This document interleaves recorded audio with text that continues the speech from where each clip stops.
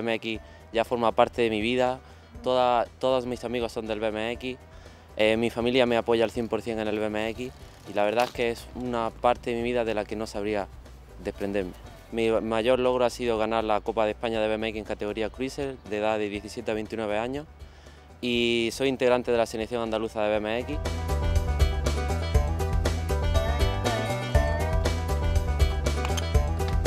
Iniciarse en el BMX y competir lo único que se necesita es ganas y tener una bicicleta. Trabajar por el club, trabajar por los niños como una vez cuando yo era pequeño trabajaron porque yo me divirtiera y compitiera, es para mí una satisfacción enorme.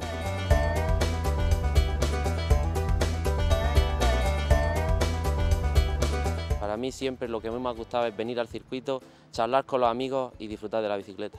Lo que me enganchó a este deporte fue que aunque es un deporte individual, la verdad es que todos nos sentimos como una familia, todos los padres y todos los niños te apoyan y a, la misma vez tú le apoyas a ellos, tú intentas enseñarle a los niños tu técnica, tus habilidades. Aunque es un deporte individual, la verdad es que lo siento como algo colectivo.